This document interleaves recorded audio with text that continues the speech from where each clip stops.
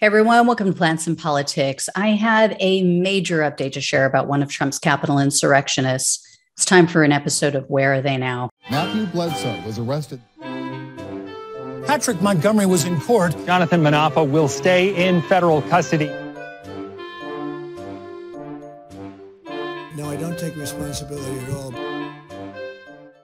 34 year old Joshua James is an Army veteran. He's an Alabama resident, and he's also a member of the Oath Keepers. He was one of those Oath Keepers who was charged with seditious conspiracy, which is, you know, basically you're trying to take down the United States.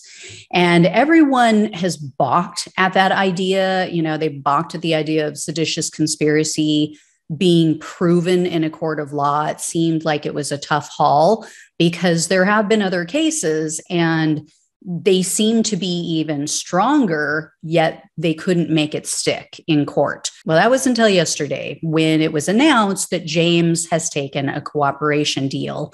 He's agreed to plead guilty to not just that charge, not just seditious conspiracy, but also obstructing an official proceeding.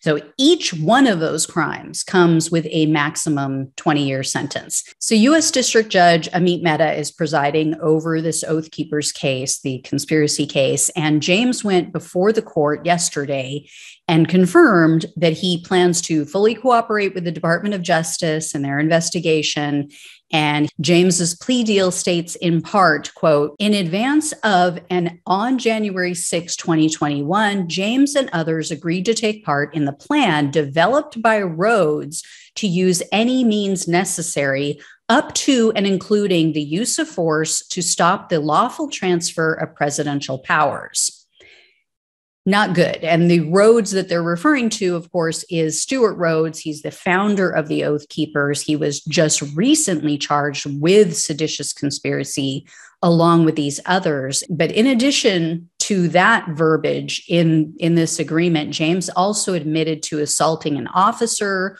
while he was in the Capitol. He admitted to intending to use force. However, the assault charge is going to be dropped, obviously, under this plea agreement. This the statement of offense tied to this plea deal also notes that James intended to influence, affect, or retaliate against the US government, and that he used intimidation and coercion to achieve that goal. James also had to acknowledge in the statement of offense um, that he knew of the large cache of weapons that the Oath Keepers had taken with them and stashed at a hotel in Virginia. People are still trying to deny that, which is ridiculous. There's so much documentation about what, what they call the QRF, the Quick Reaction Force it's unreal. They've got photos of these people's, you know, these these men, these oath keepers uh, men and women coming in with gun cases, rolling them in on luggage carts, and then leaving with them. It's, you know, and all the messages back and forth of them talking about it. Anyway, he also confirmed that Stewart Rhodes, again, the leader of the Oath Keepers, instructed all of them to delete incriminating evidence and to quote, stay below the radar. So that was after January 6th. Then the document also notes that the group planned for future violence because it stated that, quote, James departed Texas in February 2021. At Rhodes' instruction, James took with him multiple firearms, thousands of rounds of ammunition, multiple burner phones, scopes, magazines, night vision equipment, and other tactical gear.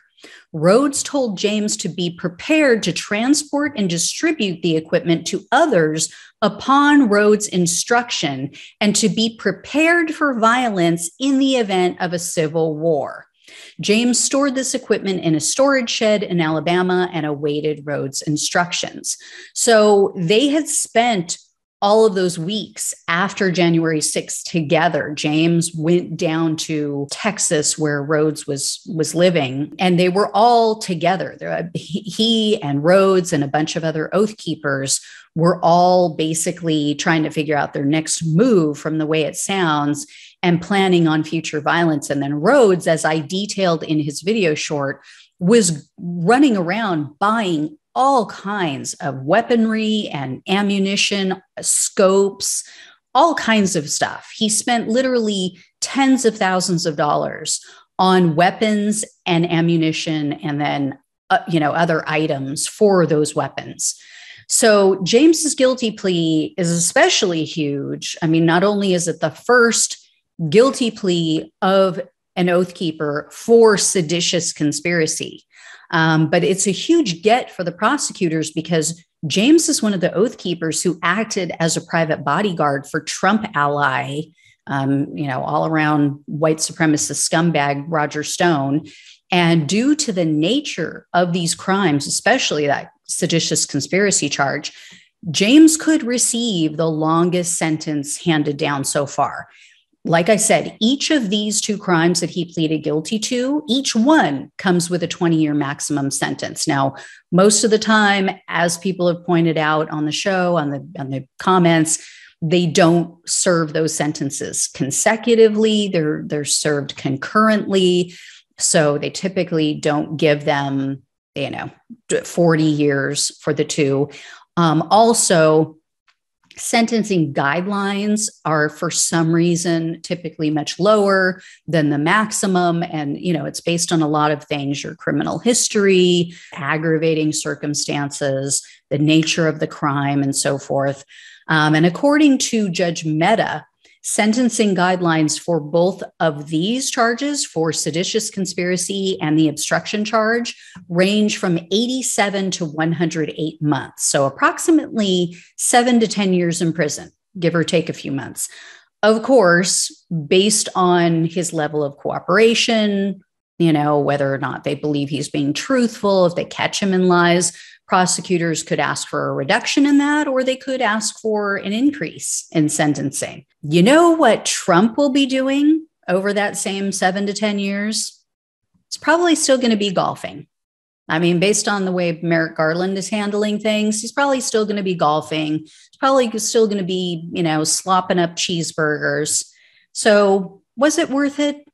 Was it worth it for a guy who has not given you a second thought since he left office, James. Anyway, this has got to put some fear into the other oath keepers who are facing the same charge because now they they lost it. They lost their opportunity to be the first and to give up everything that they know.